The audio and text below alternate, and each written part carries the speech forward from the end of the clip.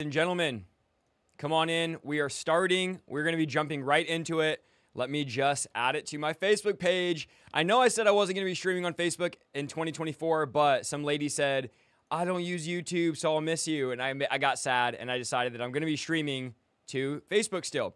So hopefully we are live on Facebook right now. Let me know where you guys are watching from in the chat. There we go. For whatever reason, it keeps locking my Facebook. There we go. We're live. Okay. Ladies and gentlemen, welcome to the broadcast. Tonight's going to be an amazing night. We're on episode 165 of our Monday Night Fire, our Monday Night Teachings. A couple quick announcements. Tomorrow we have Bill Wiese on the podcast. We are answering your questions on hell. Last time I had him on, I had a million questions I didn't get to ask him. So I'm going to ask him all those. He's going to briefly share his testimony, and it's going to be an amazing time. Look on Instagram for a question story. If you want to ask questions, it'll be on Instagram tomorrow morning. February 28th. That's this Sunday. I will be at the Way World Outreach in San Bernardino. If you're in Southern California, I'm going to be there this Sunday. So go to my website, isaiahsaldivar.com slash schedule. Meet me out in San Bernardino. Um, February 24th, I'll be in Antioch, California. March 3rd, I'll be at Lifesong in Stockton, California, my home church. And July 19th through the 21st, I'll be in Washington at the Revival in the Desert. I was trying to get the name right. You can go to revivalinthedesert.com to find out for tickets and all that stuff. It's going to be an amazing time. You don't want to miss it. And as always, we are live Monday at 6, Tuesday at 6, and then Thursday at noon. That is our new stream time. We had like 1,300 people last Thursday, which was amazing. So Thursday at noon is our new live time for the year. And then 1.30 p.m. starting this week and going forward for the whole year, 1.30 p.m. is our partners prayer meeting. So if you are a monthly partner, you should have got an email today. If you didn't get the email, check your spam box. If it wasn't in your spam box, go to YouTube if you're a member and go to the community tab and look at the YouTube member only post. That will have all the info. It will be the same meeting ID all year long.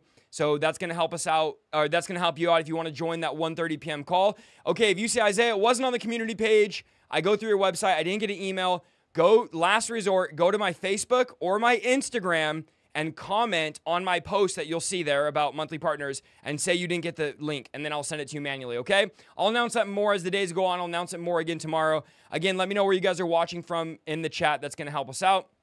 And we're gonna jump into it. I have a meeting tonight in about an hour and a half, so we're gonna go for it here. That's why I had to go an hour early. I know people didn't know, and a bunch of people are gonna show up at six, and we're gonna already be almost done. But it is what it is. You guys are here. They can watch on the replay. Thank you guys for being here again. Do all the stuff I said if you want to be in the weekly prayer meetings. You should have got an email. Check the Facebook community page. And if not, message me on, uh, go to my Instagram or Facebook and comment down below you didn't get the post. And then I'll send you that manually. I don't know why it is so hot right now in my studio. It's like 80 something degrees. I'm trying to look at what's going on. My window's open. It's cold outside. Who knows what's going on, but I'm going to be sweating here. We're going to be going for it. Tonight, we are going to go into, that's not bad, three minute intro. We're going to be going into spiritual warfare training. I believe in these last days, we have to be trained. We have to be equipped spiritually. So, listen, if you're in this broadcast tonight or you're watching the replay and you go, I don't want to talk about spiritual warfare, I don't want to be trained, I'm not trying to be a part of the army, then, guys, please don't come in the comments crying about how I'm teaching about deliverance again or warfare again or training again. Just go watch a different video. We have 1,800 videos. I'm not going to cater to those that are like, I don't like spiritual warfare training. Then this is not the stream for you. Okay, I have plenty of other videos on the channel. I really feel like God wants me to train the church, equip the church, and very few people are talking about this stuff. So I'm going to talk about stuff very few people are talking about. If you don't like it, I don't know what to tell you. You're an adult. You can see, you know, go find another video to watch. There's plenty of videos out there that aren't about this. This is probably one of the few videos you're going to find about what I'm going to talk about. But we are talking about doors that demons enter through. Here's the devil's greatest lie and what he's keep he keeps telling the church. His greatest lie is that he's not real. His greatest lie is that he's not active. He's not working. He's not lurking. He's not attacking. He's kind of just not involved in our life at all. And that's that's his greatest lie. It's how he's able to use camouflage to overthrow us. I don't want to be a victim. I want to be a victor. I don't want to live my life under the power of the enemy, ignorant of spiritual warfare, not realizing I'm in a spiritual battle. Write that in your notes, underline it, highlight it, circle it, put a check mark next to it, put a cross by it, whatever you have to do. I am in a spiritual battle. Every single day, there is a battle going on in the spiritual realm. I am a part of that battle. I'm not going to be ignorant. It's time for you to get your head out of the sand. I know you might not like this type of teaching, but you need this type of teaching, especially in these end times. Guys, we are in the last days. Do I need to tell you all the signs of the last days? Do I need to go through the book of Revelation again for three, four months like I did before? Playlist on the channel. We're in the last days. You're a soldier of God. So, how are you going to oppose or fight something you don't even believe exists? You don't even acknowledge. Guys, there's not one scripture in the Bible where Jesus even hints that we shouldn't talk about destroying the devil's works. There's not one scripture in the Bible where Jesus says, don't talk about destroying the enemy. Don't talk about deliverance. Don't focus on the devil. Don't focus on what he's doing in the earth. No, Jesus constantly overthrew his kingdom, was constantly driving out devils. There's no verse that says don't talk about the enemy strategies. We are ignorant when it comes to the devil's strategies. Too many of you are like, we just need to focus on Jesus, brother, and not on spiritual warfare, not on deliverance. It is impossible to focus on casting out demons and not focus on Jesus. And it is impossible to truly focus on the ministry of Jesus and not talk about casting out demons. Why? Because it's something he did everywhere. It's something he demonstrated everywhere he went. So if I'm Christ's ambassador, then I should be demonstrating his kingdom on the earth. So we know that right now, as I'm speaking, the devil is lurking, the devil is prowling, the devil is searching, looking for someone to devour. Is the devil defeated? Yes. Christ defeated him on the cross. Does he still have power though? Yes. The Bible says we are fighting the powers of darkness. So we do a major disservice when we create unbiblical theology that says the devil and his demons don't exist. He doesn't war against us. He's not active and he's on a beach somewhere on vacation. That doesn't help anybody. That could not be farther from the truth. The truth is, he's active on the earth. He's working day and night accusing you. He's not in hell, by the way. We all know this. Well, I hope if you follow my ministry, you know this. The devil's not in hell. That's not his address. It's his final location, his final destination. He will be cast into hell, but hell is not where he resides right now. The Bible calls him the prince of the power of the air. And it's not okay that Satanists, witches, warlocks have a higher level of conviction, warfare mentality, dedication, commitment, separation to their God than the church does. Why are they involved in warfare, attacking, fighting, engaging spiritually?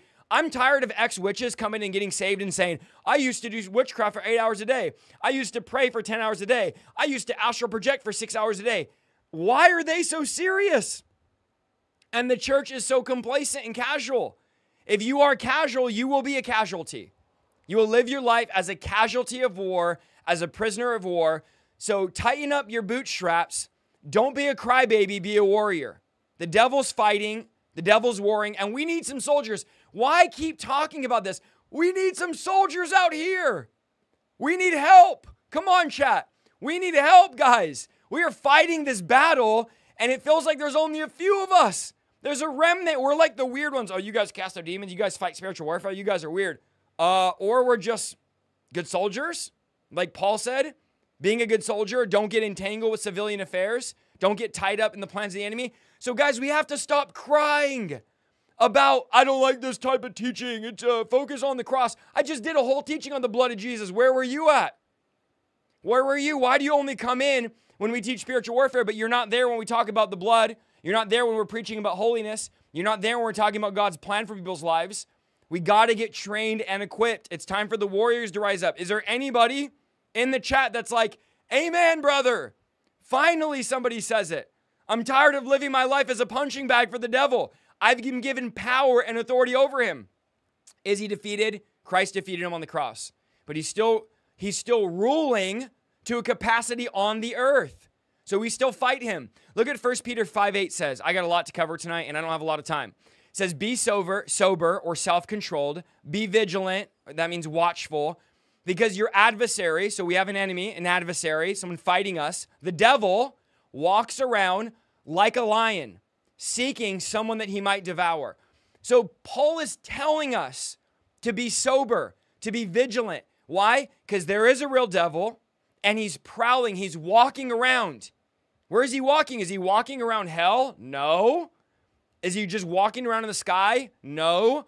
Paul says, to Pe- Peter says, sorry, not Paul, Peter, be sober, be vigilant, be self controlled, be watchful.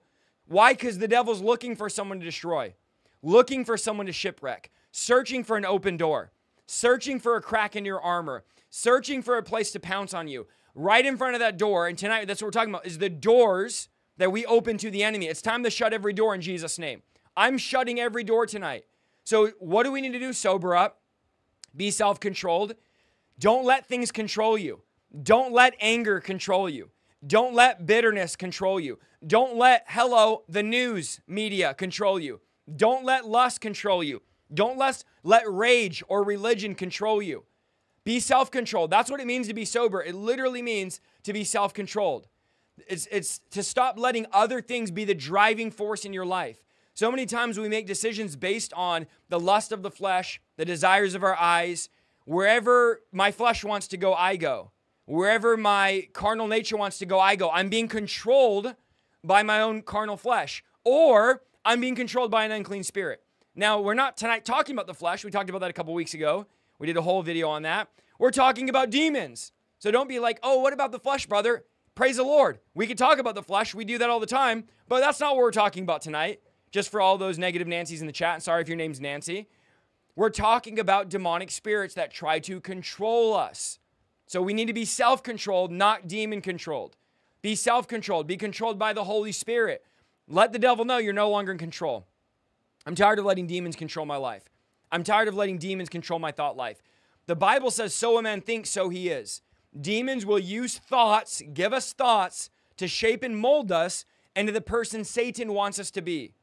So de- God's not the only one that has a plan for your life. The devil has a plan for your life. The devil wants to destroy you. His demons want to destroy you. They, they want to completely ruin everything going on in your life. Every career path, financial plan, job, family member, relationship, relationship with God, relationship with your kids. They're looking to destroy it in one way or another. They want to drive you, they want to be in the driver's seat. Now, interesting, Peter says, be sober, which is a term referring to not being drunk. When you're drunk, how many know when you're drunk driving, you're no longer the one driving? The alcohol takes the driver's seat. So he says, be sober, Take the driver's seat. Don't let something else drive your life. Don't let something else motivate you. We have gotten drunk on so many things drunk on people's opinions, drunk on addiction. Anything that controls you, you're drunk on. Pleasure, distractions, idols, money. Some of you are drunk on money. You don't only have to be drunk on alcohol, you can be drunk on many other things. Don't be drunk on these things. Don't let them drive you. So don't just be sober, but be watchful. This is what we're doing tonight. We're watching. We're seeing where the enemy gets in and we're watching to make sure he doesn't get in. We're watching doors to make sure that they are closed. Be watchful. Don't live your life ignorant or an accident. Look out for the strategies. Look at the areas he's trying to sneak in. Be vigilant. He's always trying to find a way in.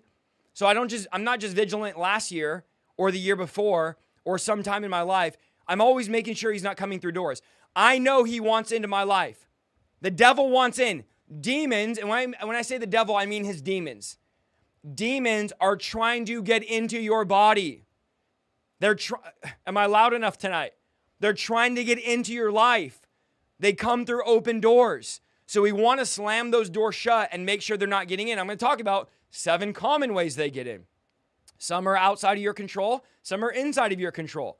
It's very important that we're watchful, we're alert, we're sober, we're steadfast. The Bible says, resist the devil Resist him. Be steadfast against him. Take action against him. Withstand him. Fight against him. Come on, chat. Put on the. Am I preaching to anybody tonight? Am I the only one? Put on the armor of God. Put on the armor of God. Don't tell Peter, James, Paul, oh, well, I live in American Christianity, and the, they say the devil has no power. American Christianity says the devil's not active, let's just ignore him. Good luck with that. How's that been working for you, this whole just ignore the devil, don't fight, don't go to battle. How's that been working? How's the bondage been going? You could you could say all you want that you don't have chains on, but why is it such a struggle to lift your hands? Why is it such a struggle to pray?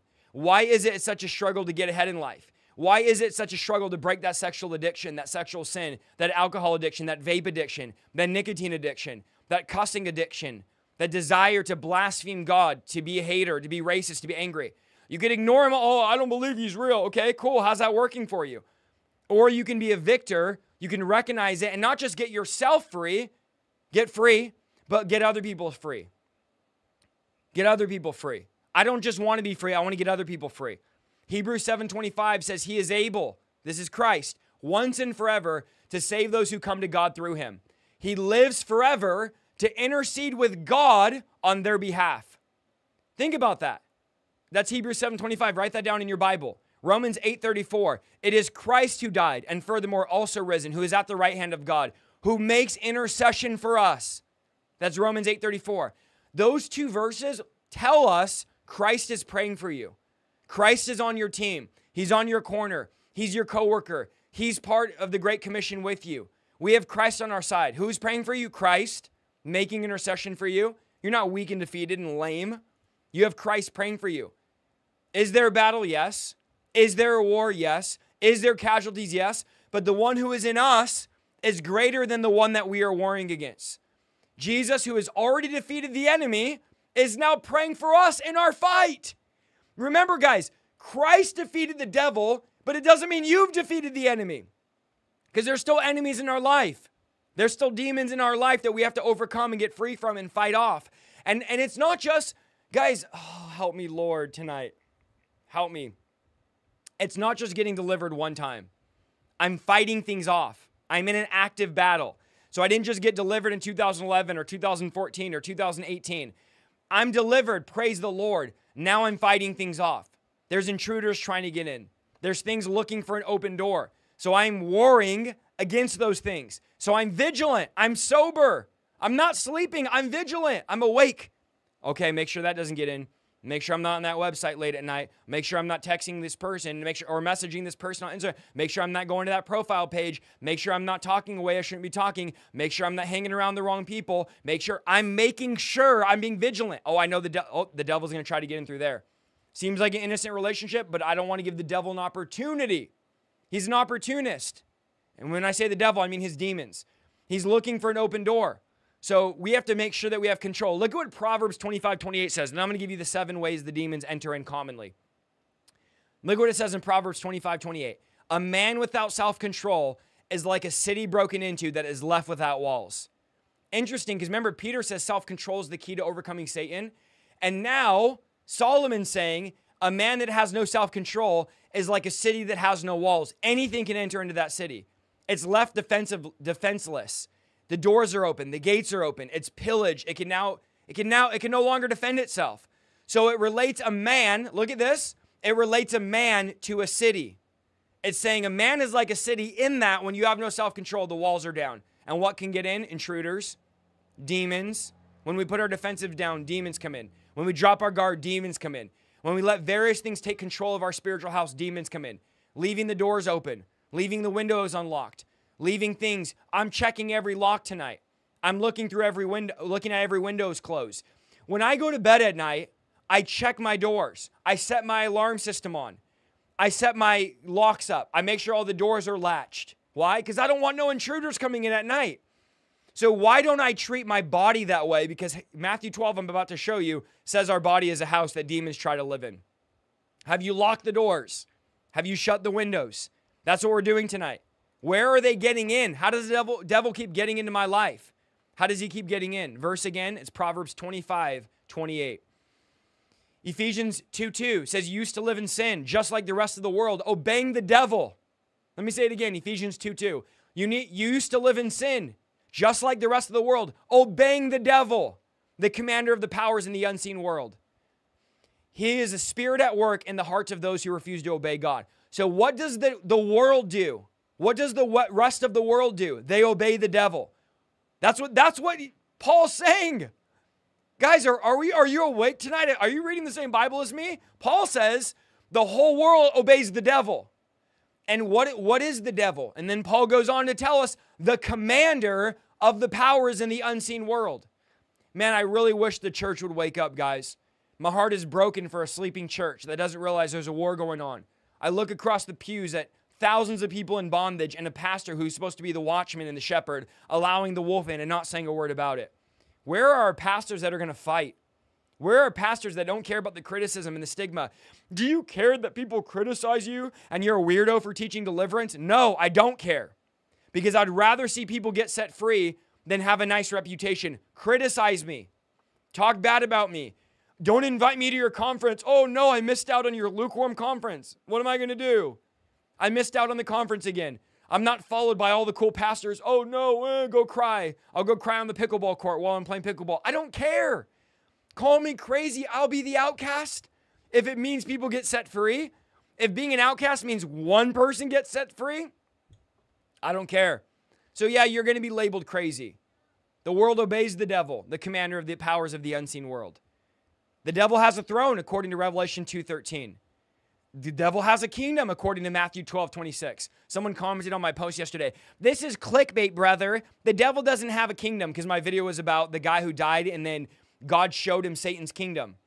That, and the guy said, This is clickbait, brother. The devil has no kingdom. He's in hell. Uh, I literally had to show the guy the verse on the comments. Matthew 12, Jesus says Satan has a kingdom. So I don't know what religious pipe you're smoking, but Satan does have a kingdom. He has a throne according to Revelation chapter 2. Matthew 9:34 says he's the prince of all the demons. So we fight the demons, but Satan is the commanding officer over all those demons. Is this helping anybody? Let me know. His power is temporary and his power is limited. Look at what Romans 16:20 says. For the God of peace will soon crush Satan under your feet. Oh man, I love that verse. Woo, that's a good verse. I love that. Look at this. Romans 16:20. I got to say it again. I felt that in my spirit. The God of peace will soon crush Satan under your feet. I love that. John 12, 31. Now is the judgment of the world. Now the ruler of the world will be cast out. This is Satan, the ruler of this world. Right now, if you didn't Uh, look at the celebrities that are being promoted, go look at all the ones winning the Grammys, look at all the ones that are winning awards. They're all satanic. All of them are satanic. Why? Because the devil's the ruler of this world. Get out of denial. Denial isn't just a river in Egypt. You'll catch that later. Get out of denial. The devil's ruling this world. So I could just sit back and cry about it. Oh, the devil, look at the music, look at the new celebrity. Or I could fight. Or I can cast him out of my friends and family. Or I can cast him out of my friends and family, coworkers, people at my church. I, I'm going to cast him out. I'm not going to cry about him. Why? Because I'm a warrior. I'm armed and dangerous, and my weapons are not carnal, but mighty through God for the pulling down the strongholds. Jesus gives us a fundamental, fundamental principle right here in Matthew 12 and in Luke 11. Luke 11 says this when an evil spirit, Luke 11 24, I just want to touch on one thing and then I'm going into the seven reasons because I, I got to go quick here. Luke 11 24, when an evil spirit leaves a person, look at this, it goes in the desert searching for rest. So it leaves a person, a body, and it looks for rest. But when it finds none, it says, Luke 11 24, the demon says, I will return to the house I left. Now, I want you to note this is Jesus speaking here. This is not Paul, which Paul is great, Peter is great, John is great. This is Jesus. The words are read. Jesus is telling us that the demon says, I'll return to the house that I left. So the demon returns and finds its former house. What, what is the house? A person. I'm a house.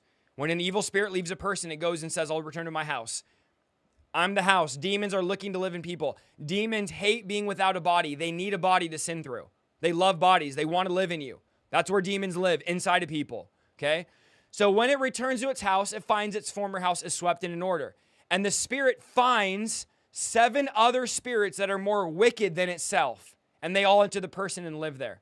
So the person's the house. You see the parallel language? Jesus goes, There's a person, then there's a house, and there's a person. You're like, What is all this talk? You're the house. Our bodies are spiritual houses. Okay, so the demon now has seven of its friends more wicked than itself. They all enter that person. They all enter that person and live there. And so the person is worse off than before. But notice he says the demon leaves. It doesn't say the demon gets cast out. So there must have been open doors. There must have been unlocked doors do houses have doors? I'm, I'm reading the chat. If you don't know what I'm reading, I'm reading the chat, guys. Let me know. Do houses have doors? Yes. Do houses have windows? Yes. Okay, so if I have an open door in my house, in my life, a demon's able to get in. A demon's able to get through. There's an open door. The demon says, I'll return to my house. Why? Because the, the door is open, the house is empty. We need to be full of the Holy Spirit, the power of God. We need to not leave our lives empty. We need to fill our life up with the gifts of the Spirit, the fruit of the Spirit, the power of the Spirit. A lot of us are closing doors, but we're not locking them. We're not being careful with what we listen to. Be careful, little eyes, what you see. Be careful, little ears, what you hear. Windows, doors, windows, doors, windows, doors, my eyes, my ears, my ear gates, my eye gates, my mouth gate. What's coming in, what's coming out. Remember, it's not what goes in, it's what goes out that defiles you. So you need to be careful what you're listening to, what you're watching. I know what demons are trying to do. I know my weaknesses. I know what doors easily get unlocked for me. I know what I can easily go back to. I'm not unlocking those doors anymore. I already I locked, guys. Are you guys catching what I'm cooking tonight? I'm un, I'm I've locked. I've locked the door of pornography 13 years ago. I locked the door of lust. I locked the door of addiction. I locked the door of alcohol. I locked the door of perversion. I locked the door of bitterness and anger. What doors have you locked? I'm not unlocking those doors. They've been locked for 13 years. And those spirits that hide behind those doors, waiting to get through, I'm not letting them in because I know that sin is crouching at my door. I'm going to show you that in scripture tonight. I know the devil's waiting to get in, so I'm not unlocking those doors. Luke 10 says the devil tries to find another way to get in. He doesn't go through the main door, he looks for another way. The thief and the robber climbs in another way. Climbs in. So he's looking for another way to get in. He's looking for another way. Genesis chapter Gen, uh, uh, tongue twister. Genesis chapter 4 verse 7. You'll be accepted if you do what is right, but if you refuse to do what is right, then watch out Sin is crouching at your door. Here we have doors again. It wants to control you, but you must subdue it and be its master. So we know sin, not only demons are crouching, sin is crouching at the door. Sin wants to get through that door. So there's a connection with us being houses. Even in Genesis, the Bible speaks of us as we are houses, and the devil's trying to get in. Look what Ephesians 4:27 says. And give no opportunity to the devil. The devil's looking to pounce on you. Ladies and gentlemen, he's trying to get in. Are you letting him in? Are you easy for the enemy or are you going to fight? Stop crying. Stop crying about it and fight the devil. Stop, oh, another spiritual warfare training. You need it. If I did, let me let me just say this, okay? And I'm just whatever. It is what it is. I don't even care. It's my channel. My name's on the channel. I can say what I want. If I did a, a spiritual warfare training for all of 2024, every single Monday night, it still wouldn't be enough. The church is so low on this. They're so below the standard. It's so rarely talked about. I had a guy tell me 40 years I've been in church, I have never heard about spiritual warfare or fighting the devil or casting demons, none of it. What have we been teaching people? You're a soldier. You're a soldier in God's army. We need more training. Don't give the devil an opportunity. Now, a lot of you are going to hear these open doors and say, well, brother, that's not fair. I want you to remove fair from your vocabulary tonight. The devil doesn't play fair. The devil doesn't know what fair is. It's not in his dictionary. So, this whole thing, that isn't fair, it doesn't have to be fair. There's nothing fair about the way the devil works. The devil's not sitting there going, like, oh man, I can't kill that baby because that wouldn't be fair. I can't ruin that person's marriage through trauma because that wouldn't be fair. I can't give that person a spiritual spouse, a demon thinking it's married to them because that wouldn't be fair.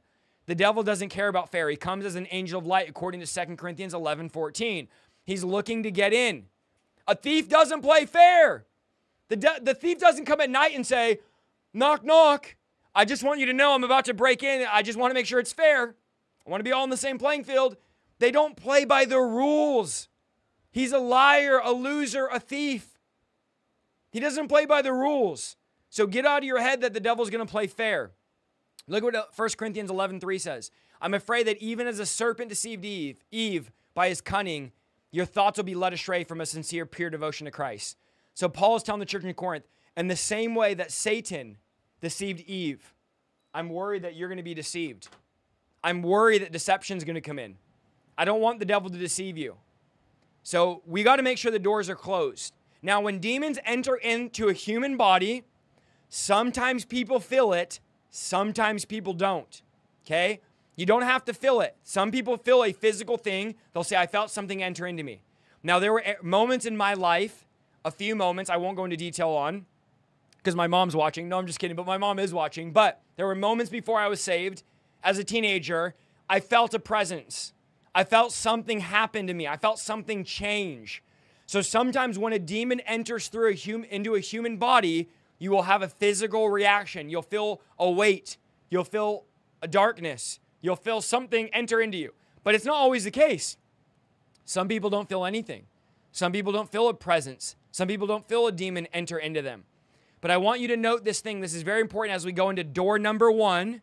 And this is not like, what's behind door number one? This is not the price is right, but there's demons behind doors. Okay? I had to throw in a joke. A spoonful of sugar helps the medicine go down. This is very important. I want you to write this in your notes tonight. And I hope you're taking notes because how many of you know good disciples take notes? The New Testament was the notes the disciples were taking uh, about what Jesus was doing. All right? Uh, that's not going to go into that. Here's what you got to realize demons cannot enter by force. Write that down. Demons cannot push doors open. You must open a door, or somebody else must open a door by doing something to you. But the door has to be open. So, for example, if a demon can just jump on it and enter somebody, I would have a million demons because I have a big YouTube channel. We reached hundreds of millions of people last year. I was trending on WitchTok on TikTok, uh, those thousands of witches putting hexes on me at one time, and all of that, okay? Doesn't matter. The demon can't enter into me unless I open the door. It can't jump on me, it can't force itself into me. So every time a demon's there, it's there because of a reason. Every demon that's in your life right now, if they're there, are there because of a reason. If you didn't watch my video last month about signs you have a demon, go watch that on my live tab. But this is how demons enter in. So they can't enter by force. There has to be a legal right or legal permission for them to come in. And it's important to note that a gate or a door serves two main purposes. Are you ready? It keeps stuff in and it keeps stuff out. That's the purpose of a gate or a door. So I'm not only keeping things in, I'm keeping things out by gates and by doors. So you have to make sure that you're keeping the gates closed so nothing comes back in. Let's go into. Now, I want you to know I'm also going to be giving you stuff on my experience. Okay, doing deliverance for 13 years now, casted out demons of thousands of people, done mass deliverances with five, six, seven, eight thousand people, literally prayed for hundreds of thousands of people online. I've prayed for millions of people to get delivered and all of that. Okay, so I'm not just saying based on a story I read or a book I read. I'm also going to go off of experiences I've had doing deliverance, seeing where demons originated from. Now, I could give you a list of 50 things tonight, but I'm not going to. I'm going to give you seven because 50 is too many and we don't have time, but maybe we'll do a part two. Number one, common open door is the family door. Family doors. A lot of people get demons, demons come in through their family, abuse growing up.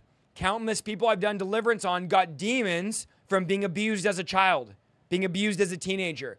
Demons don't always, write this down, demons don't always come from what you did, but often they come from what was done to you. Demons don't always come from what you did, but often from what was done to you. So, physical abuse. I told you guys the story before. I dealt with a pastor's wife who had a demon, and the demon said I came in when she was eight years old. Her mom punched her in the face, and the moment her mom punched her in the face, that's when I came into her. And she validated that story after her deliverance. She had a demon of rage and anger from being punched in the face by her mom when she was eight years old. That abuse was a legal right, an open door of trauma, which is going to be our next one, to go into her. So, family abuse, sexual abuse in the family is a huge open door. And again, some of this stuff will not be appropriate for kids. And I'm sorry, guys, lately I've been doing a lot of edgy um, content that's not appropriate for kids, but I, I can't sugarcoat the training. And so I will have some more kid content soon or some more teachings that are more suitable for children. I apologize for that. I, I definitely am aware that a lot of my content is like 18 plus. I'm aware of that. I'm not ignorant to that. Um, I'm aware of it, but it's what God's having me do right now. And so there will be a time where I'm doing more kid appropriate content. There's a lot of kid appropriate content on my teachings, but like this type of stuff, obviously, um, is probably not appropriate for, for young kids. So mental abuse, emotional abuse, sexual abuse, all of these things come out. Uh, all of these things open a door, but can come out through deliverance. Now, when we're doing deliverance, yes, we want to do with uh, we don't want to deal with forgiveness. Forgive those that have abused you. Forgive those that have hurt you. But we don't want to take people back. I don't want to go, let's go back to when you were 5 and remember your abuse. We don't do that. I don't do that. Some of you might do that and hey, to each his own. Personally, I don't teach that because I see Jesus taking us forward, not taking us back. So, hey, that person hurt you, they abused you. Let's forgive them. Let's move on. We're not going backwards into our trauma. We're going forward into our destiny, into our breakthrough. Okay. Now, again, people do counseling, all of that. That's not what I'm talking about. That's not what I'm talking about. I'm talking about deliverance. When we're casting out demons, We don't bring them back to their trauma and have them relive it. Now, I'm not a counselor. I'm not certified, licensed. I don't even know what do you have to do now.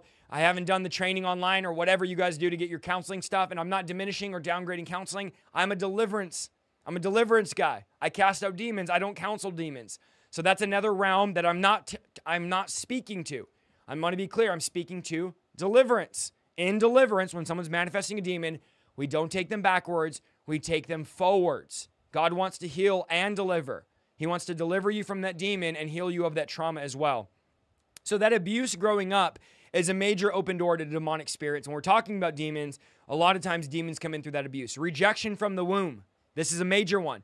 Be very careful when you're pregnant what you're saying. The baby can sense the rejection. It's an open door. Look at this.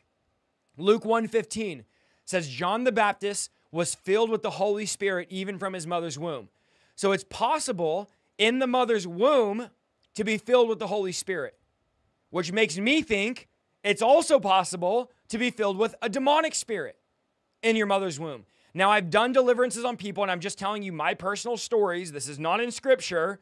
This is Isaiah's personal story alert, where demons have said, I've been there since they were in their mother's womb, or I entered into them when they were in their mother's womb. A demon will verbally say that out of the person, that's when they came in. I'll say, How long have you been there? And the demon will say, I've been there since they were in the womb. So when you're rejecting your baby in the womb, even a scientist or a person that studies this will tell you a baby can feel emotion, a baby can feel pain. Hello, somebody.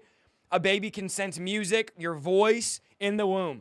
So if you're speaking things like, I wish I wasn't pregnant, I didn't even want this baby, this baby was an accident, this baby was a mistake, there could be that trauma and that rejection opening you up. A baby seeks love even in the womb.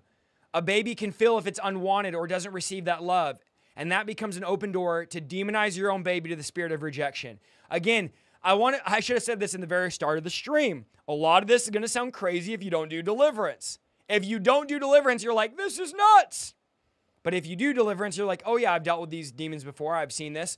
Again, when you're in the realm of warfare and deliverance, this stuff is common. But when you're just a cheerleader or you're just in the stands or you're just a critic, then you're like, this is nuts and crazy, and you make clips and videos, and then you get ad revenue, and basically my content pays your bills. I get it. But when you do deliverance, you'll see that what I'm saying is true, and this stuff does happen, okay? I dealt with a man who had same sex attractions. He didn't want it. He didn't want to be attracted to men, but he was. And the demon literally said, his parents wanted a girl and I came I came over him because they spoke that over him. They kept speaking they wanted him to be a girl. They didn't want a boy. They wanted a girl. And this spirit, the same sex attraction spirit said that it came because his parents were speaking they wanted a girl and it gave that demon a legal right. I don't know. Does that sound crazy? Yes. But I'm telling you what I saw and what happened in the deliverance. So the devil wants to come and confuse and torment kids. And this demon literally came because the parents kept saying, We didn't want a boy, we wanted a girl. And he heard that as a child. He heard that even in the womb, they were saying that. Now here he is. He was attracted to men, even though he was a man and he didn't want it, but there it was. Okay? Some common demons that prey on children confusion, rejection, fear, anger. These are common demons that prey on kids. Rebellion, loneliness, depression, and suicide. These are demons we need to war against, fight against. A lot of young kids are taking their life. It's all over the news. The enemy's not playing games. The enemy's not lukewarm. The enemy's taking his gloves off. It's time for the church to get serious. It's time for the church to stop playing games. Family doors, generational curses. I have videos on this. These are curses that open the door to demons. Exodus 34 says that uh, uh, says that basically to the third or fourth generation, the curse will visit from the third to fourth generation. Deuteronomy 30, 19 says, I set before you life and death, blessing and cursing. Choose life, therefore your seed shall live. So, blessings and curses, you choose. Am I going to pass down generational curses or generational blessings? And I have an hour long video on curses. I have three hours of videos on generational curses. Just search the channel. Choose today what you're going to pass down to your kids. Type in the chat, I will pass down generational blessings. I'm not passing curses to my kids. Uh, the curse stops here. It ran in my family till it ran into me. I'm going to break this curse. I'm going to break this. I'm not living my life under the curse, under the power of the enemy. Choose to pass down blessings to your children. Choose to, to pass down breakthrough to your kids, okay? Confusion is a big open door due to divorce. This is a major one. I see in deliverance a lot of people a lot of people get demons, spirits of confusion during their parents' divorce. The kid thinks it's their fault. They don't understand. That's a huge one. Okay? Divorce, abuse as a kid, word curses spoken over by your parents, open door to demons. Many of you right now can reflect when your parents called you stupid, when they called you fat, when they called you too skinny, when they called you a loser, when they said you'll never amount to anything. Proverbs 18:21 says death and life are in the power of the tongue. You can speak curses and you can speak blessings. Proverbs 6:2 says you're snared by your by the words of your mouth. The word snare means to bring to destruction or ruin, like a bird caught in a snare. So your words have power. Watch what you speak over your kids. I should probably do a whole stream on this. Watch what you're passing down to your kids. Oh, it's bleeping out. I will pass down because it's uh, in pass as ASS and I have that block. So it's all right. It's bleeping it out there. But watch what you're passing down. So here's what I want to say about family doors make the choice to keep the doors closed in your kid's life. Don't expose your kids to abuse. Are you guys hearing me? Don't expose your kids to sinful things. Protect your kids. Don't exploit them, protect them. Do not expose them to sexual things. Do not expose them to abuse. Do not expose them. Don't listen. Y'all are crazy if you're letting your kids stay the night at their friend from school's house. I'm just saying, y'all are crazy. Wait, you're letting your kids stay the night at their unsafe friend from school's house? Do you know what goes on in that house? Do you know what that house is exposed to, what they're watching, what they're listening to, what's happening, who's there at night? No, no, no. 0% chance my kids will ever, in a zillion years, stay the night at an unsaved friend's house. Or even, even a friend house for that matter. Hey, they want to stay the night, they come to my house. I know what goes on in my house, but hey, they ain't going over there. I'm not trying to be rude, but I don't know what goes on up in your house. Okay? I don't know what goes on up in your house. And so I monitor my kids.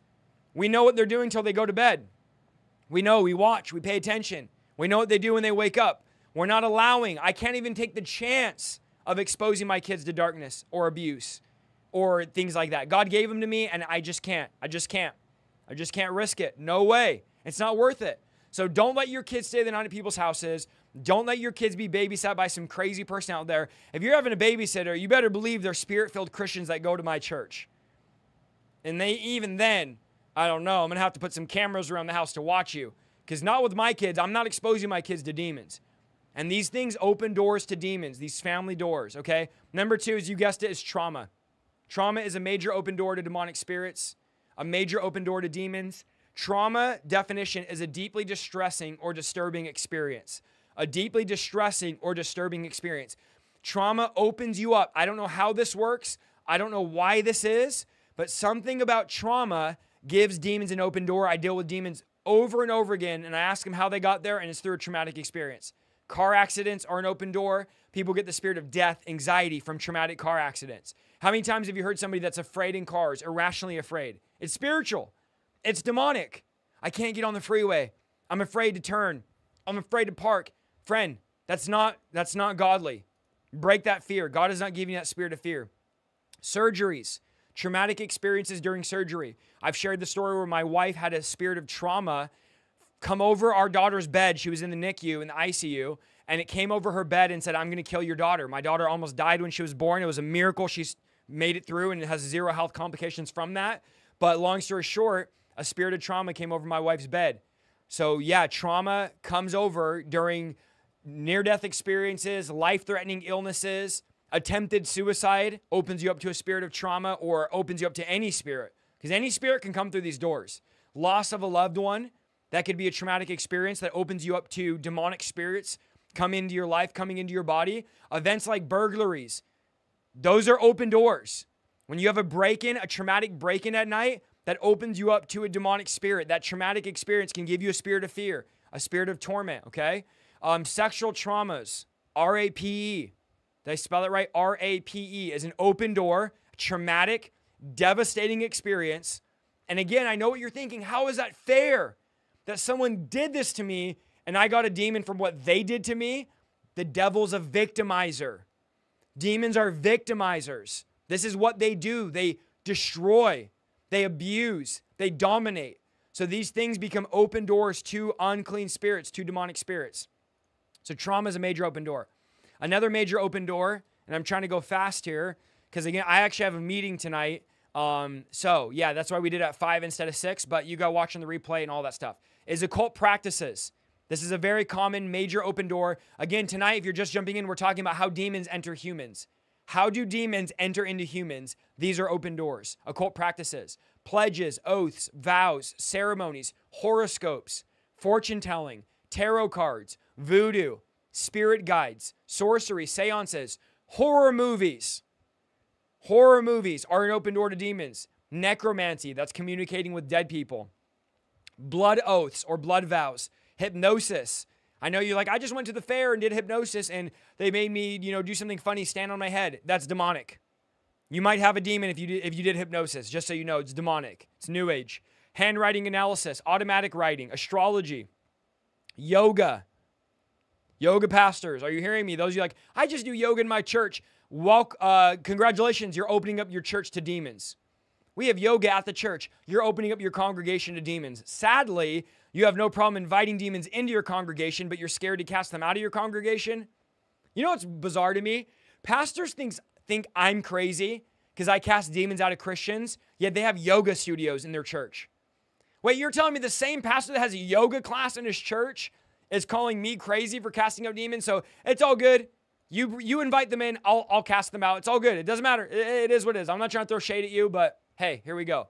Psychics, palm reading, Ouija boards, levitation games, books about the occult and spells, Freemasons, Eastern Star, Rainbow Girls, fraternities and sororities. Yes, yes, yes, yes, yes. Occult, cults, demonic, major open doors. I don't I don't even have a number of how many people I've cast demons out of that got demons from playing the Ouija board. They got demons from opening it up, trying to talk to the demon. You want to talk to the demon, the demon's gonna come live inside of you. It's no game, no joke. I don't care if you just got a reading at the mall. I just got a quick palm reading at the mall. Well, good job. You got Charley's Steakery, uh, Wetzel's Pretzels, and a demonic spirit all at the same time because you thought it was cute and nice. And I know I'm strong tonight, but I don't want to see you demonized and victimized. I want to see you free. So that's why I'm strong. That's why I'm being strong tonight in my preaching. So when you're at the mall, stay away from the psychic booth, the reading, the palms, the tarot cards that they're trying to give you at McDonald's. Common practices people engage in horoscopes. Friend, you don't need to know whether you're a Cancer or Leo. All you need to know is you're son and daughter of the Most High God. We, I don't know why you're identifying with Cancer. We cast out Cancer. I'm a Cancer. I'm a Leo. No, you're, and I hate to say it this way, stupid. That's what you are because you're opening yourself up to demons.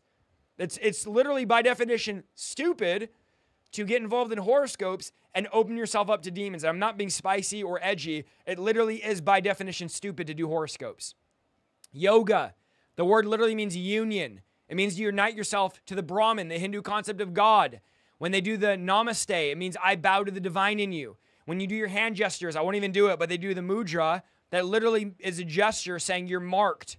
You're literally marked by the flow of energy from the yoga, from the demons. You can Google what yoga positions are. They are prayer stances to foreign gods, to demonic spirits. You're literally opening yourself up to demonic spirits when you do yoga. Come on, people, wake up. What are we even defending here? Yoga is demonic. I want to be sealed with the Holy Ghost according to 2 Corinthians 121. I don't want to be sealed with some yoga demon, some triple some triple level 34 dragon that's trying to enter into my body. Some double dog um, some double dog wiener central demon tries to come into me during yoga. We're not doing that. We're not doing those. Astral projection, the law of attraction, demonic demonic open doors. Cursed items, which I have a whole video on. Items you need to remove. Go watch that on my live tab.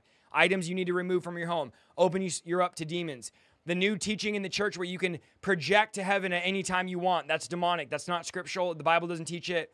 Be careful that you don't go into the astral realm like that. Idols.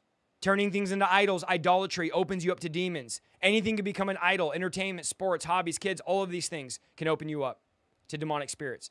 Number four, ways demons get in through soul ties, toxic relationships, and spiritual spouses. Let's go through these really quick. I have videos on all of these on the channel. I'm running out of time here. Soul ties are another way demons get in. This is a connection in your soul with people. Specifically, sometimes they could be good, but usually they're bad. And they become doors and gateways for demons to enter in. There's a such thing as an STD, that is a sexually transmitted demon. When you're sleeping around with other people, you're giving yourself away, you're becoming one with them, the Bible says, and whatever demons they have can, not always will, but can transfer over to you. They can transfer over to you. So be very careful. I don't know what happened on YouTube. We had 2,800 on here, it said, and now we just dropped down to 1,800. So whatever's going on on YouTube, maybe you need to refresh. I don't know if it kicked you out. Hopefully you come back in. It is what it is. I just saw that number drop a 1,000 here on my screen. Soul ties, toxic relationships, and spiritual spouses. Some signs you might have a soul tie, and I have a whole video on breaking soul ties. You visualize the person when you're with someone else. You left a relationship, but you obsess over them and think about them constantly. You're being abused physically, spiritually, verbally, yet you still can't break things off with them. You defend them to your friends and family, even when the friends and family point out harm to you. You take on the traits of the person you have a soul tie with. You constantly dream and fantasize about them still. You feel like you can't move on with your life. This is signs you have an unhealthy soul tie. And these are often uh, brought about through intimacy, through, you know, you know what I mean? Do you know what I mean by intimacy? When you do that thing, you do that thing with somebody, that's how you get soul ties often, but it could also be from just being around them a lot, an unhealthy relationship. I have a video on how to break that. Or also spiritual spouses. These are demons that are assigned to you to th- they think they're married to you. They're literally demons that think they are married to you. I also have a video with that. And people have these issues where they feel something laying on them at night. I know there are some kids watching, so I'll be careful here. But spiritual spouses try to come and they open up the door to more demons. You need to break the connection, break the tie. And uh, yeah, I can't even say what I want to say about that because there's some very dark things that people do that bring demonic spirits. Okay? And the entry point for a spiritual spouse, well, how do I get, how come I got a spiritual spouse? Why is there a demon thinking it's attached to me or sexually abusing me? Fornication, pornography, masturbation, engaging in spiritism, channeling spirits, adultery, doing rituals to invoke demons, all of these things are how you get these spiritual spouses. All right, number five, open door. Sinful acts or sinful habits usually recurring. Now, sometimes a single act can be an open door for an unclean spirit, but it's not a guarantee. But just know when you do sinful things, sinful acts, you are opening a door. So the next time you decide to get on that website and watch naked women on the screen, I want you to remember you're opening a door. It doesn't mean a demon's going to come through that door every time. We don't know how this fully works. We all know this in part. But just understand you're opening a door when you sin when you get angry and rage and do something you shouldn't do, you're opening up a door. Okay, Luke 22, verse 3 says, Then Satan entered Judas. And this was when he went out from the Last Supper um, after making the decision to betray Jesus. Judas opened a door that he could not close. So just know that the demons come in that way. I've had demons tell me I came in when they went here. I came in when they said this. I came in when they acted this way. I came in when they watched this. And not every demon came in because you did something but often they come in to make you do something. For example, a spirit of suicide obviously doesn't come in because you commit suicide, it comes in to try to get you to commit suicide. Right? Are you, are you guys catching that? So these spirits come in for a purpose and for a reason. Sexual acts are a huge open door to demons. We already talked about that masturbation, fornication, pornography. These are open doors. If you do these things, especially if you make these habits, do not be surprised if you have a demon. I don't know how I have a demon. I'm like, yeah, I know how you have a demon. You literally watch pornography for how many years? You masturbated for how many years? Okay, you opened yourself up. You opened yourself up to a demon. Um, these are all open doors. All right, let's go to the next one here. Number six is the laying on of hands. Are demons able to be transferred by somebody laying their hands on you? Yes. Now, this is not common. This would only be if somebody is heavily involved in the occult they have some assignment on their life for witchcraft. But if I'm at a church as a preacher and you come up saying, Can I lay my hands and pray for you? Probably the answer is going to be no, unless I discern that you're pure or I know your heart or I'm cool with you. But letting random people lay hands on you, I would be very, very careful. Okay? We know that. Think about this the power of the Holy Spirit is transferred through the laying on of hands. We know that Paul laid hands on people and they received the Holy Spirit. So if people can lay hands and receive the Holy Spirit, is it possible that we can lay hands and impart demonic spirits? Yes. You can release demonic spirits through laying on hands. We know John Ramirez, when I've had him on a bunch of different times, said that they used to always lay hands during their demonic practices and demonic ceremonies. I'm frozen on YouTube. Just refresh it if I am. That's unfortunate. Let me check my phone here. So, demonic ceremonies, demonic rituals, they often lay hands. Okay. I'm still going. All right. So be careful. Now I want to read you a verse and I'm going to explain the context. 1 Timothy 5:22 says, "Don't be hasty on laying on of hands." Now this verse is not about imparting demons. It's about appointing church leadership. So I don't want to use the verse out of context. It's saying don't lay hands and appoint leadership hastily. But I do believe there's a spiritual principle to be learned here. The spiritual truth is be careful who's laying their hands on you. Now, this again is talking about uh, putting leaders in churches and authorities, but just be careful who's laying hands on you. If you don't know them, you don't know where they're from, I don't know where your hands have been, I'm probably not going to let you lay your hands on me. It's like, hey, can I make you some food? And you're just bare hands making me food, touching my food. Um, I probably don't want you making me food when I don't know you and you have bare, dirty hands. So I probably don't want your dirty spiritual hands on me. I just don't know where they've been. They might be pure, but I don't know where they've been. So just be careful having a bunch of people lay hands on you randomly. Uh, I wouldn't be too hasty about that. Okay. Last one. We'll do a part two on this at some point. Last one is entertainment. Notice how I said enter there. Entertainment. This is the last one I'm going to put tonight. We are at about an hour already, but this is probably the most common. Entertainment is an open door to demonic spirits, especially because you got to remember, you're spending six to eight hours a day being entertained. So much access to movies, entertainment, media, music. What you watch matters. What you listen to matters. Look what Matthew 6:22 says. Your eyes are a window for your body. When they're good, you'll have all the light you need. That's the English contemporary version. The New King James says, The lamp of the body is the eye. If therefore your eye is good, your whole body will be full of light. But if your eye is bad, your whole body will be full of darkness. If therefore the light that is in you is darkness, how great is that darkness? So, do you see this? We got to be careful that our, our eye, if our eye is full of darkness, how great is that darkness? So, protect your eyes because your eye is is your light to your whole body. If your eye is bad, your body's full of darkness. So what I'm watching matters. I don't want to open a door to demonic spirits by what I'm watching. And we're going to pray here in a minute. Okay, music is also an open door. We know Satan. We don't know if Satan was the worship leader of heaven, but we know that in his body is musical instruments. Okay, the, uh, we can at least say that. We don't know to what capacity. Some say he was the worship leader in heaven. The Bible doesn't say that. He might have been, but the Bible doesn't say that. But we know that he had musical instruments, pipes in his body. So, of course, we know the devil's going to use music, and music. Now, there are some chants and some demonic music that could give you demons. Okay, but for the most part, the goal of music is to get you to sin, to get you to open the door, to get you to do something bad. So, if you listen to music, it'll give you a certain emotion. Sexual music, it'll arouse you sexually. Music about drugs, about drinking, about partying, these things could arouse you and get you to do sinful things. So I see a lot of Christian leaders like it's fine to listen to worldly music. Um, for me personally, I don't see any gray areas. I don't think it's right for any Christian to listen to worldly music. I this is what I see. Now again, I could be wrong. I'm not saying I know it all. I'm not right on everything. Just personally, let me know if I'm wrong. When I read the Bible, I see the kingdom of light and the kingdom of darkness. That's just what I see. I don't see the kingdom of gray. It's like the worldly music's in the kingdom of gray. I don't see that.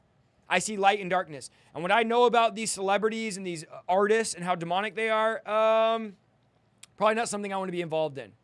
This is why 10,000 young people go to a rave and they dance to the same beat for six hours and they call it trance music. So, I mean, there's power there. There's power in music. And I'm sorry if you don't think there's power, you're sadly mistaken. There is power in music. Why do you think the devil's goal is to get these songs about demons, the devil, all of these things trending? They want to, he wants to open you up. Those are the seven things, okay? So to recap, number one is family doors. Number two is trauma. Number three is occult practices. Number four is soul ties, toxic relationships, and spiritual spouses. Number five is sinful acts or habits. Number six is the laying on of hands. And number seven is entertainment. And now we are going to pray, and we're doing good here.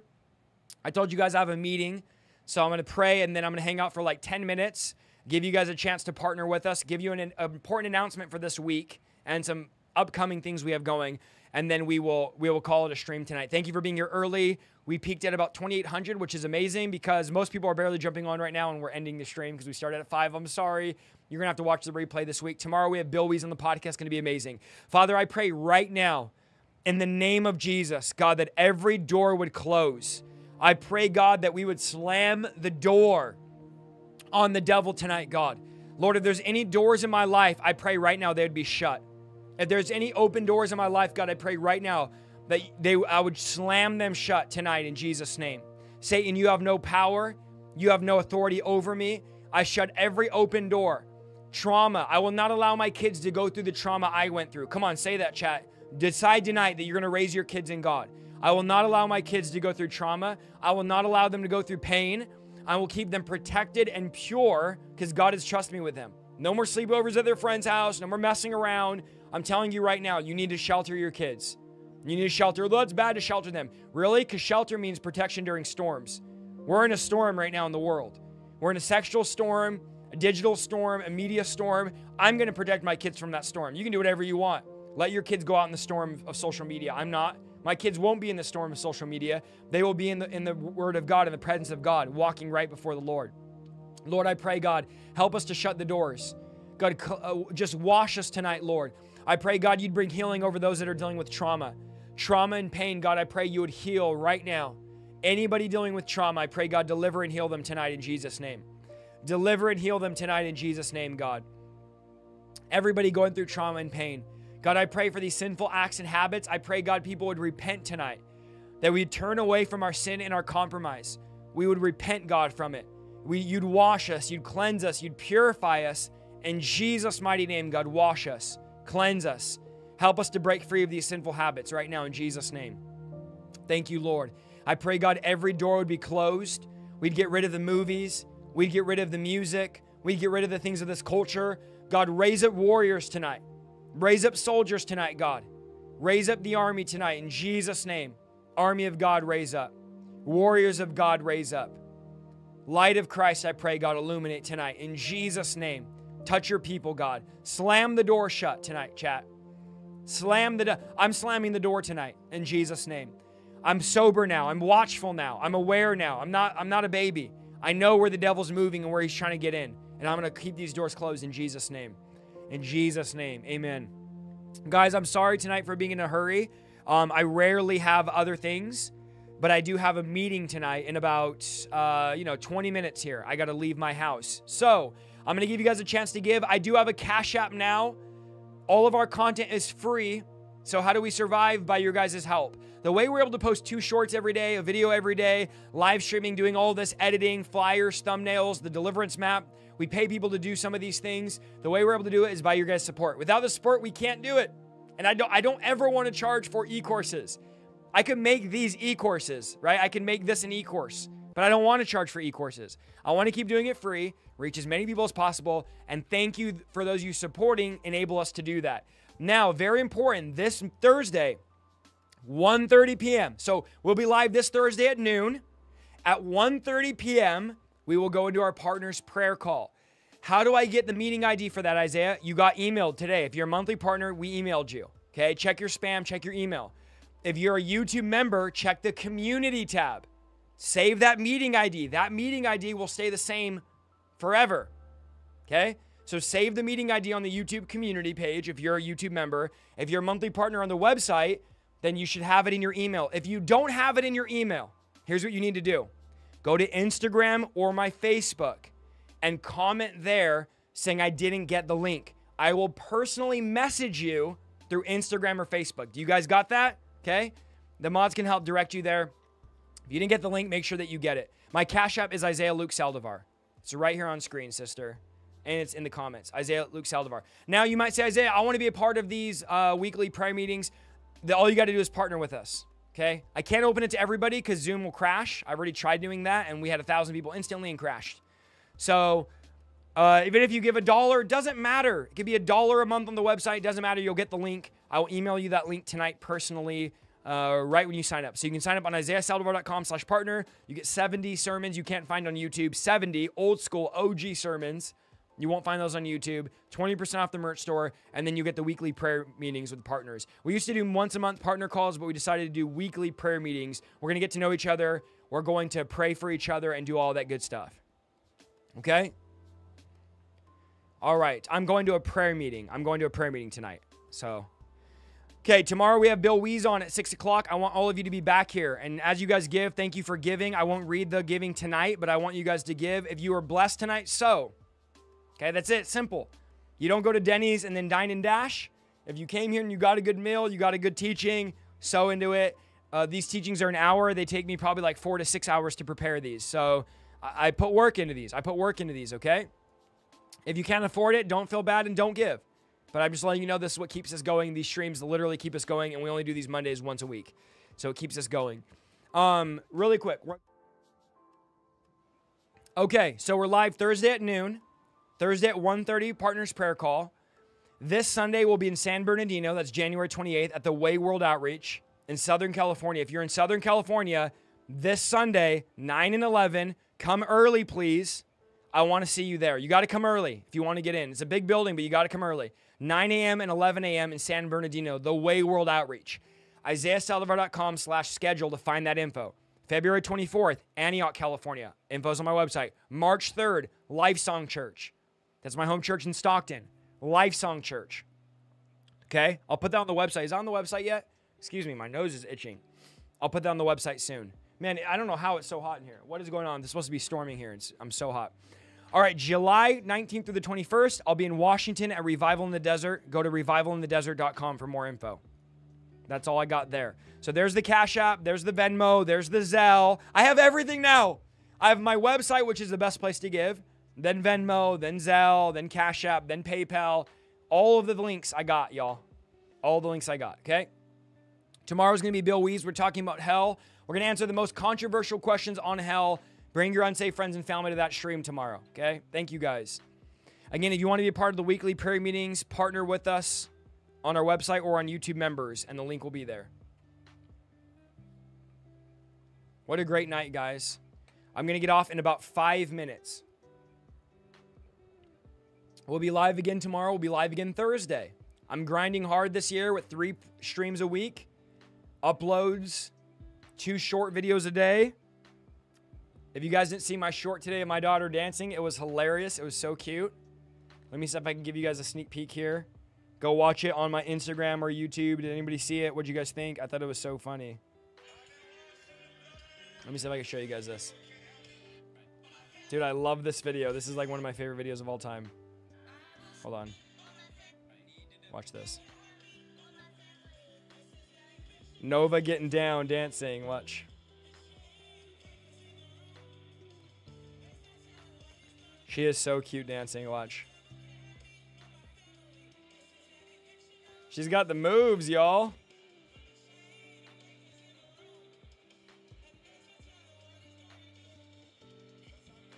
Go watch the video. It's hilarious. I've watched this video like 20 times a day. Her little back and forth shuffle is so funny. People were saying that YouTube crashed tonight. Hmm. Yeah, I was getting texts saying it wasn't playing on YouTube.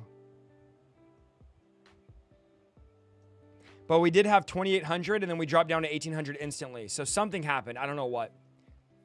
Uh, the link is uh, the video is on my Facebook, my YouTube, and my Instagram. Just go to my shorts.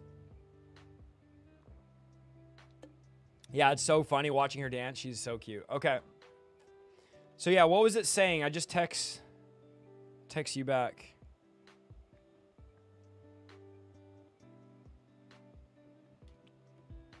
Something happened on YouTube. Lame. Lame. Right when we get some momentum. We had some momentum and then crash and burn. YouTube said, nope. What's the drink tonight? Hint, watermelon. I'm all out of peach. The peach only comes in the variety pack, so I drink them right away. But yeah, watermelon's good. All right, guys, five minutes. Let's talk. Five minutes. We'll be live tomorrow. I'm sorry to be in a rush, but I have a, a prayer meeting I'm going to go to tonight. Nothing happened. Okay, I guess it was for some people only. A lot of you said nothing happened. JD Gaming, thanks for being here, brother. Hopefully you can be here the next stream. It kept kicking me out, and it rarely happens. That's so lame. YouTube, why? Why do you have so much money? You're literally a trillion dollar company and you can't just give me one clear stream?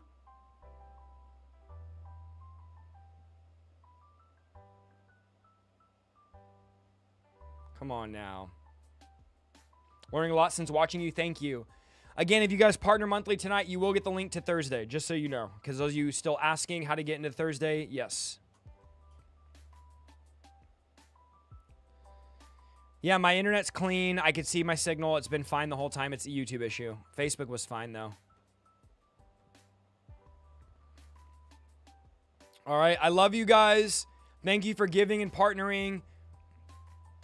I can't say it enough. We'll be live tomorrow. We're going to keep grinding, putting in the work, putting in the effort. It's going to be the greatest year ever. It's listen, the algorithms are up and down. The views go up, they go down. The platforms censor me, demonetize me. I've been demonetized on TikTok, Instagram, and Facebook. The only place I have monetization is YouTube. It is what it is. We're going to keep preaching. We're going to keep doing it. The religious people cry about us. The platforms get mad at us. Oh well. We're going to keep boldly declaring the word of God. We're just keep, we're just keep moving. We just got to keep moving. We can't we can't sit around and cry about it. All right, no ending screen tonight. Uh, I guess I'll put it on for a second. But I love you guys. I appreciate you guys. I'll see you tomorrow night at six o'clock. Again, sorry for this being a short one. I usually go two hours, but hey, at least you got the most important part, and that was the Bible teaching. See you guys. Love you. Bye.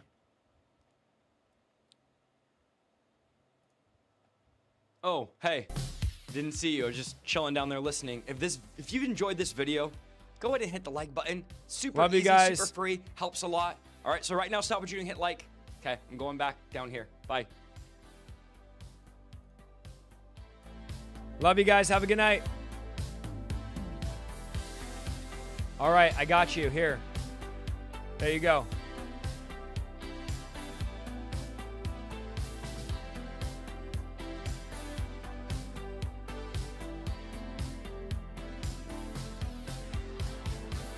Goodbye. Love you guys.